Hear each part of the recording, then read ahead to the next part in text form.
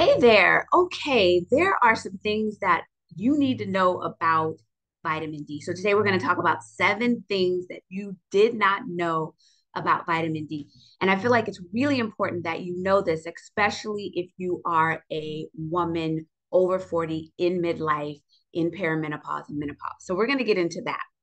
My name is Robin, certified nutrition specialist. I am the creator of Necessary Nutrition Vitamin D and the Necessary Nutrition Pause Plan, which is a nutrition plan, meal guide, key resources, live programming for women in perimenopause and menopause, dedicated to helping you, as I've done myself and so many others, mitigate symptoms and concerns related to the menopause, perimenopause journey, because it can be rough.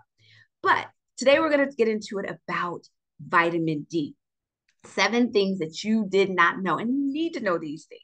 My intention is always to share information that empowers you. So what I want you to do is please do like this video, subscribe to the channel, always pumping out good information, I, I believe, and share it as well. All right, so vitamin D. Why should you even care about vitamin D? People think about vitamin D a lot of times just for bones, but it is critical to your overall health. So, number one, talking about the seven things you did not know. Number one is vitamin D is actually a hormone. And hormones are responsible in the body to trigger functions and other things.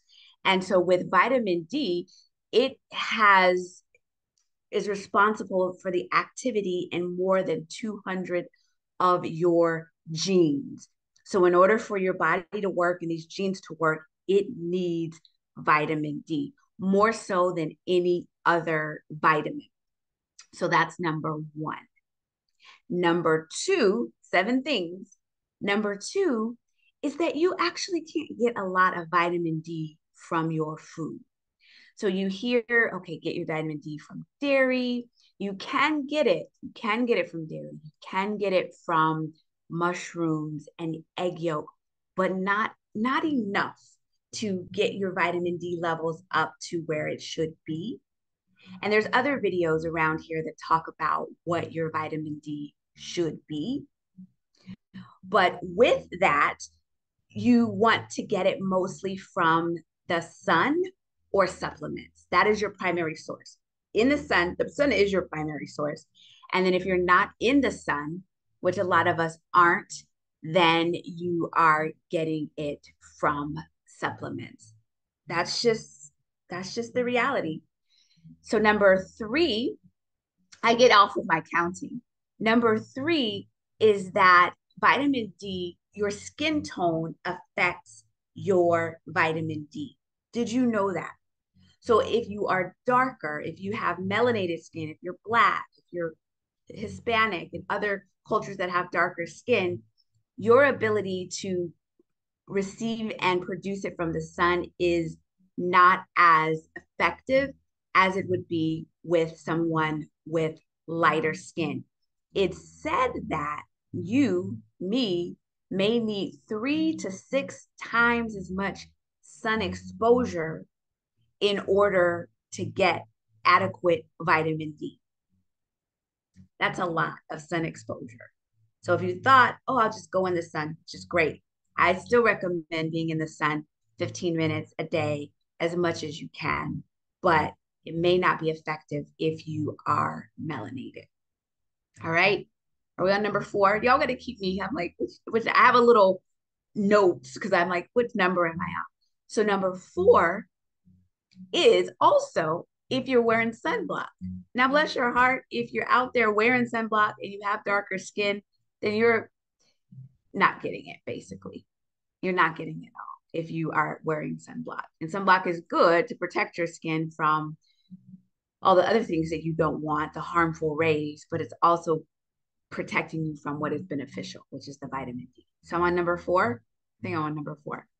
Number five is that you cannot receive vitamin D from two thirds of the, the states, the country, when it's winter time. So depending on when you're listening, if it's winter and you live in two thirds of the country, you're not even getting the sun. Now, there's certain states, I'm going to remember these states, there's uh, that have more sun. So these states have more sun all year round. Nevada, California, New Mexico, Texas, Utah, Florida. Those states have more sun year round, but most of us are not living in those states. And even if you are, that doesn't mean that your your skin tone is absorbing it or you're not wearing sunscreen, but just know that in the winter, it's not even available for you. That is where supplementation is key. Are we on number six? Believe we're number six.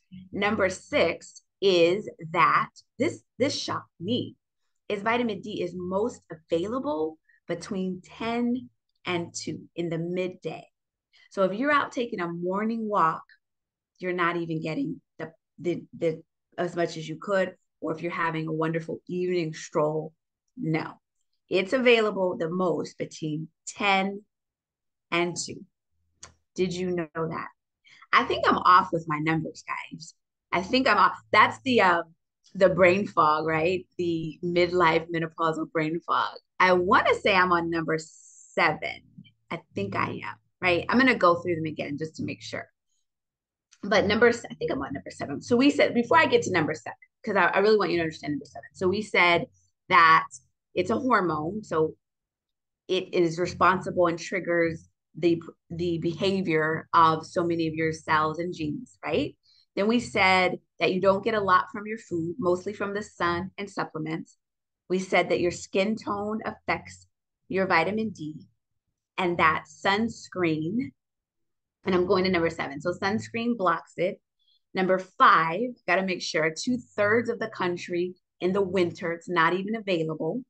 Number six, you get your most amount. Aha. So number six, we get your most amount between 10 and 2. And then number seven. Aha. We are on number seven. Number seven, drum roll.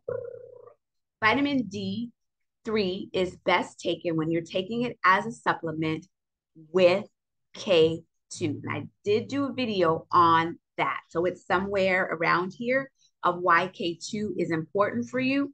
But let me say that K2 helps in conjunction with your vitamin D to take the dietary calcium that is in your bloodstream and help put it in your bones, which we need as women in midlife, and keep it away from your kidneys and soft tissues and your arteries.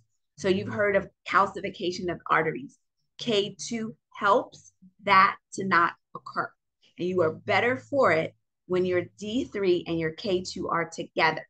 Now, if you are taking a blood thinning medication, you're on kidney dialysis or you have kidney disease, then you really want to check with your doctor before adding K2. So it may not be recommended in that case.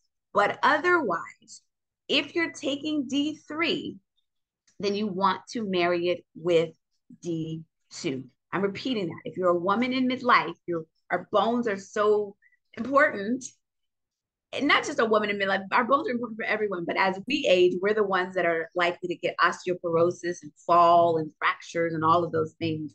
And that is known to help support us in our bone strength. So if you're taking vitamin D right now and you do not have it coupled with K2, you heard it from me.